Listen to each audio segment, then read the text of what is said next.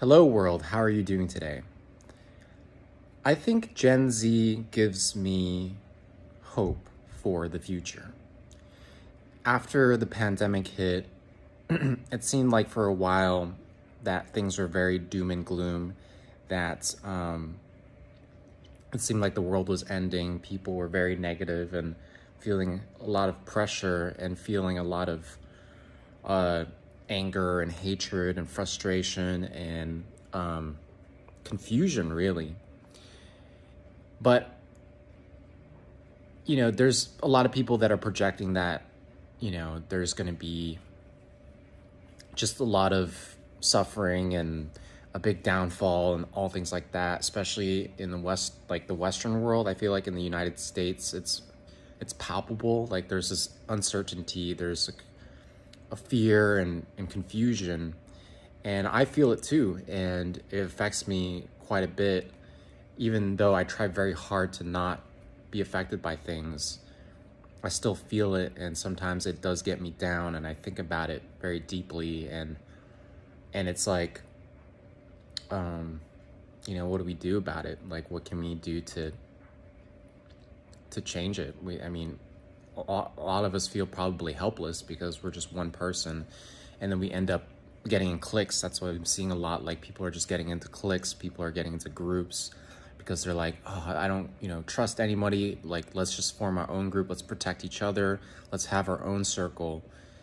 And you know, for someone like me who who's very highly independent and really wants to not depend on anybody um, it doesn't make me feel very comfortable.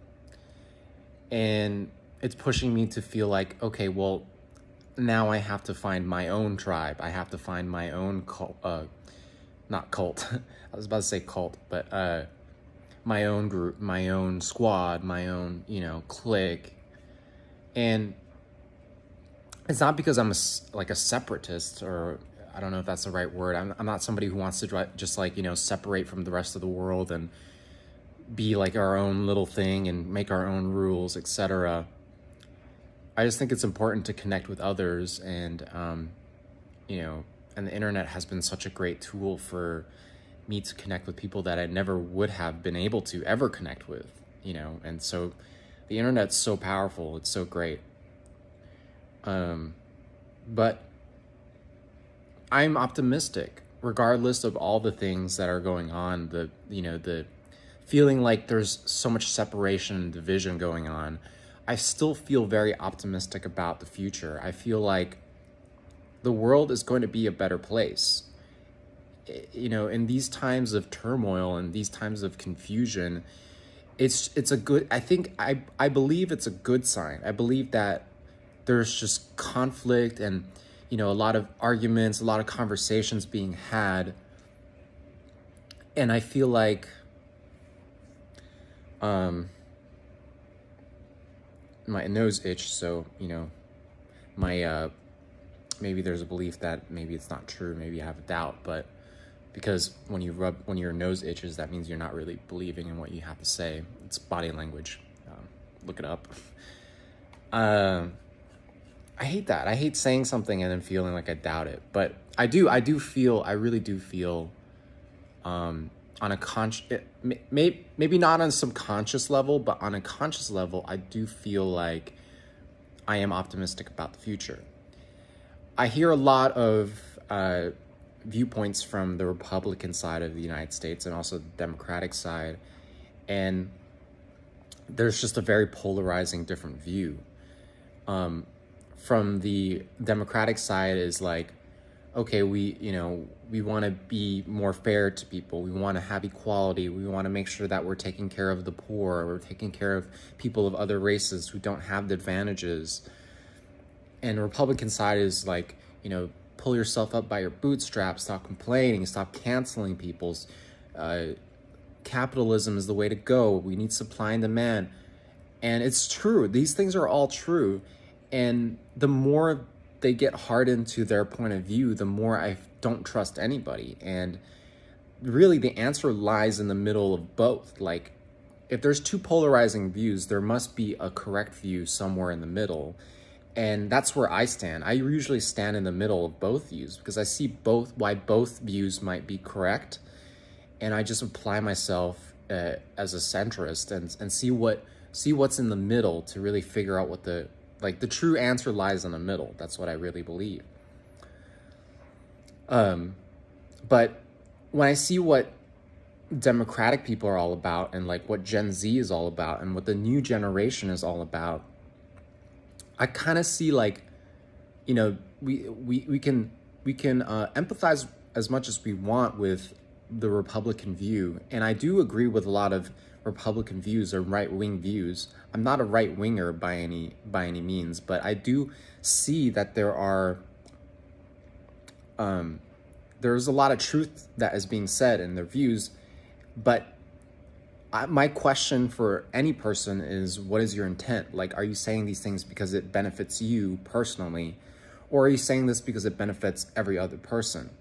And for the for the most part, I do think that most people think and believe things that will benefit them the most. It's not it's it's about them themselves first before it is about anybody else. It's very rare, I believe, that someone really thinks about everyone else uh, before themselves and their family. I just don't. I, I just don't see it. I feel like humans are, uh, you know, are you know, and in and importantly, they have to be selfish. Like I do believe that we have to be selfish. It's part of being a human. Because if we're not selfish, I don't think, and, and we don't have an ego, we wouldn't achieve the things that we do and we wouldn't make the world the way it is. I just don't subscribe to the doom and gloom as much as some people do. I don't I don't think it's uh, I don't think it's not I think it's it's smart to be prepared. I do think that that's true. Like you have to think like there is a possibility and to be prepared is is is a good thing. But to focus too much on the negative and the the doom and gloom and the, the you know the apocalyptic uh, projection, I think is is just unnecessary. I think that's too much. To think that the world is ending, to think that everything is going to collapse and people are just going to go out in the street and start uh, rioting and stealing and it's going to be just anarchy. It's going to be Mad Max, uh, the movie, like uh, you know, just an anarchist society. I just don't believe that to be true. I don't think that, I don't see that happening because of how, um, how long we have been quote unquote civilized. Um, and so I don't think anybody should be too stressed out about that. I think if we're stressing out about the future, we're not really doing, we're doing ourselves a disservice the best thing we can do is be prepared to find a way to be prepared, um, whether that be to, to, supply yourself with ways to have energy, heat, or water or food when when things go haywire. That's important, but to really focus on that and to get obsessive over that, I think is is just. I, I think that's it. You're just doing yourself a disservice. The reason I say this is because I just have a lot of hope in the upcoming generation. And I never wanted to say this because I didn't want to feel old, but um, I think it's time for me to say that I really do believe that the new generation is going to uh, save the world. I really do. I just have so much hope when I see people that are like 25 and under, um, even anybody in their 20s, like have such fervor and such passion for equality and for um, making sure that people are um, valued for who they are and not what they look like. And it it and call me woke as much as you want, or call me a part of the cancel culture woke mob as much as you want, but to just to just uh, write off this very special group of people uh, because it, it, it conflicts with your point of view because it conflicts with your personal interests is highly selfish and highly greedy. And I really do believe that um, that there's just a lot of this rhetoric out there because it, it just benefits them and not the rest of the world. What benefits the rest of the world is seeing these highly humanitarian uh, views. Our the only issue is that we who uh, the only issue is that the people that oppose this socialist cap uh, socialist or Marxist or whatever they, they believe this socialism is happening um, in in the United States especially is that your problem isn't with people being treated equally. This is something that you don't really address. You don't really take uh, uh into account. What your issue is is fearing what might happen if there's a new way of thinking or there's a new way of treating people or there's a new way of uh, relating to people on just like a just like on an official level you the fear is that it's going to take away your freedom or take away your eh, you know your right to bear arms or your all these things that you feel like things are going to be taken away that you're not going to have enough power anymore. And so draw the line. And i think that most for the most part a lot of people have been drawing the line. But to discredit the positives of either view from either side is what I believe is the downfall is that if we don't acknowledge the altruistic opinions and views of either side, we are not going to ever make progress. And that's what we want. We want to make progress. We want to be better people. We want to be better humans. We want to be better relating to other people on a global scale, not just on, you know, on home soil. It's about everyone. And that's what we got to think. We, we can't think of in terms of like who's race, who's what. There's just who's an asshole and who's not an asshole. That's really what's important. We want to get rid of all the assholes, right? That's what cancel culture is about. We're getting rid of assholes. And that's a focus.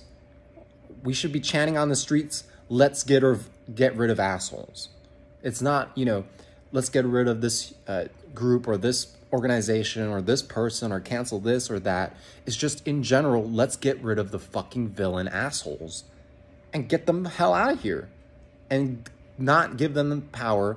And if there's people that are in power that are doing nefarious things, it is to tell them that stop it, stop doing that shit. You know, it's not cool. You're not helping people. And when we start to do that, when we start to let people know that there are consequences to nefarious behavior is when we really start to make that progress.